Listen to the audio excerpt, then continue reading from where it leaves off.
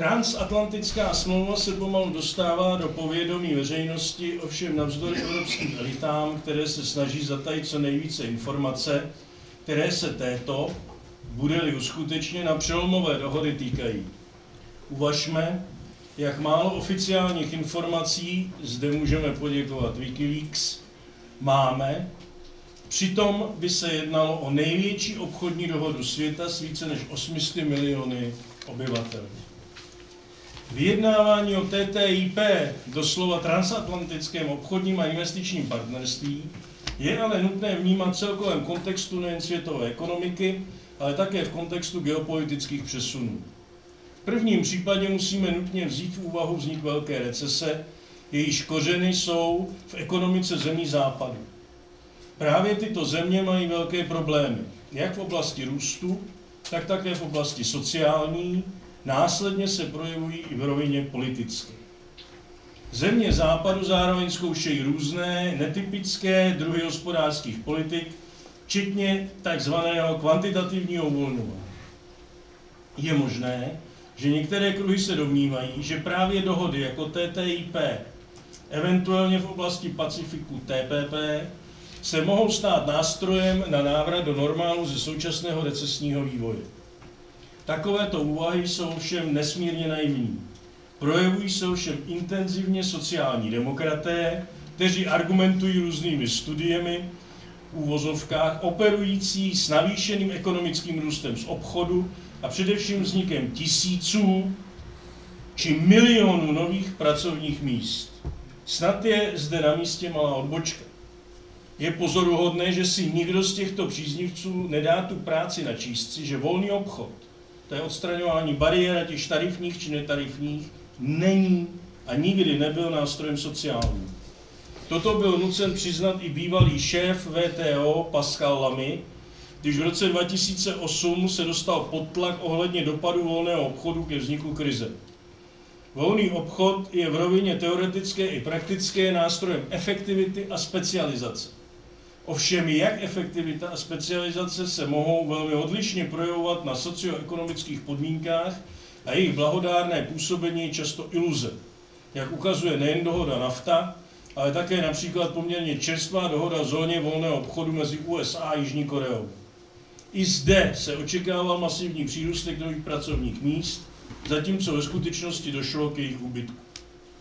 Můžeme jistě očekávat, že předkladatelé dohody, a zde to jsou Spojené státy, kdo tak říkají stlačí na pilu, je tak nezměrně naivní, ale mnohem pravděpodobnější je, že sleduje zájmy určitých korporátních skupin, které pochopily závažnost krize západu a snaží se zakotvit takové podmínky, ekonomické i legislativní, aby jejich pozice byla otřesitelná jen revolucí.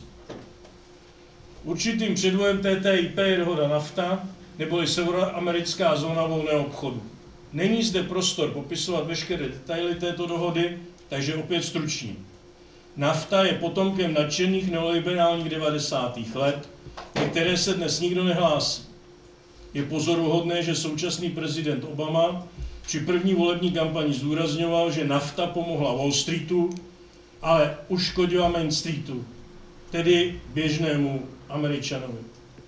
Dohoda NAFTA je občanů všech tří zemí, to je Kanady, Mexika a USA, velmi nepopulární, ať již proto, že urychlila deindustrializaci Spojených států, doložku přiměřenosti, která nutí Kanadu vyvážet například elektřinu, i kdyby sama neměla dost pro sebe, či nejkontroverznější doložku 11, investor stát, nebo arbitráže mezi státem a soukromým investorem. Přestože Obama tuto dohodu kritizoval, nyní se staví za TTIP, která z nafty vehementně čerpá, jak v uplatnění doložky investor stát, tak i v očekávání, že vytvoří miliony nových pracovních míst. Nejprůkaznějším výsledkem dopadu nafta je několik metrů vysoký plot mezi Spojenými státy a Mexikem. Jen na okraj ještě připomenu, jak silně se Bushova administrativa snažila vzít nafta jako model a rozšířit ji na celou Latinskou Ameriku, takzvaný FTAA, která by se vrátila do pozice naprosté kolonie. Naštěstí se tehdy tomuto pokusu vzepřely dvě silné osobnosti. Hugo Chávez a Lula da Silva. V rámci světové ekonomiky je nutné také dodat, že multilaterální systém představovaný VTO je v krizi, neboť se od roku 2001 nepodařilo. A to z velké části právě kvůli postoji Spojených států uzavřít kolo v Doha.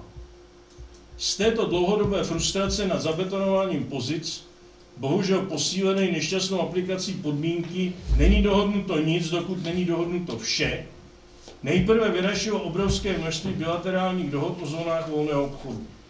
Teprve v posledních letech můžeme pozorovat tendence k vytváření velkých obchodních bloků. Zde už ale musíme opustit výučné hájemství ekonomie a je nutné zapojit geopolitické úvahy, když oba aspekty jsou nutně silně provázány. První byl pravděpodobně ruský prezident Vladimír Putin, tehdy ještě v roli premiéra, který v roce 2010 navštívil Německo s velkým plánem. Uvedl přímo, všechna vedoucí centra, včetně USA a Číny, se nyní zabývají vytvářením pokrizových strategií. I Evropa potřebuje vlastní vizi budoucnosti. A tak navrhujeme, aby se tato budoucnost tvořila společně partnerství mezi Ruskem a EU. Uvědomil si tedy, že nejenže svět potřebuje odlišné ekonomické strategie, což bylo také náplní samitu G20, vedeného Ruskem minulý rok, který se ale ocitl ve stínu řešení krize v Sýrii, ale také, že tato řešení mají jednoznačnou geopolitickou dimenzi. Jeho projekt zóny harmonického ekonomického společenství sahajícího od Lisabonu po Vladivostok byl ale německou kancelářskou odmítnut. Rusko následně věnuje své síly budování Euro, Euroazijské unie, která je podstatně menší a ekonomicky méně významná, i pro nutnou ruskou diverzifikaci ekonomiky, zatímco partnerství s EU by mělo přínosy pro obě strany, neboť ekonomiky těchto dvou celků nejsou příliš rivalitní, ale spíše komplementární. Následně se probouzejí Spojené státy a přicházejí s iniciativou TTIP, tedy partnerství s EU, ale také se vkládají do projektu TPP. Prostý pohled na mapu nám ukáže, že v prvním případě jde o to otrhnout EU od Ruska a plně ji včlenit pod americkou zónu vlivu. V případě TPP přímo vidíme, že země, které se účastní vyjednávání pod americkou taktovkou, obkružují Čínu. Oba dva spojenými státy vedené projekty se tak snaží, kromě ekonomických cílů pro americké korporace, prodloužit pozici uvadajícího hegemona a naopak zpomalit rivaly geopolitické Rusko a ekonomické Čínu. Poslední poznámka. Pokud budeme analyzovat všechny alternativní velké bloky, respektive alternativní projekty, to je Euroazijskou unii, čínské plány na oživení jedvábné stezky, či snahu sjednotit Latinskou Ameriku, zjistíme, že nevycházejí logicky z podpory hegemona, ale usilují o multipolární svět. V některých případech silně v Latinské Americe se snaží o rozvíjení jiných než neoliberálních socioekonomických konceptů. EU v tomto výčtu chybí, neboť se v posledních letech koncentruje pouze na to, aby se nerozpadla, tak říkají za pochodu. Dynamiku zbytku světa jen zvýrazňuje její neschopnost vyřešit domácí problémy, ztrátu vize, vize i ideálů, či dokonce přímo jejich porušování. Viz, vize EU, mír kontra její působení na Ukrajině. Připomíná jen pasivní kořic, která čeká, kdo ji uzme. Odtržení od Ruska jednoznačný příklon k USA, ukotvený ve smlouvě TTIP, není v zájmu evropských občanů.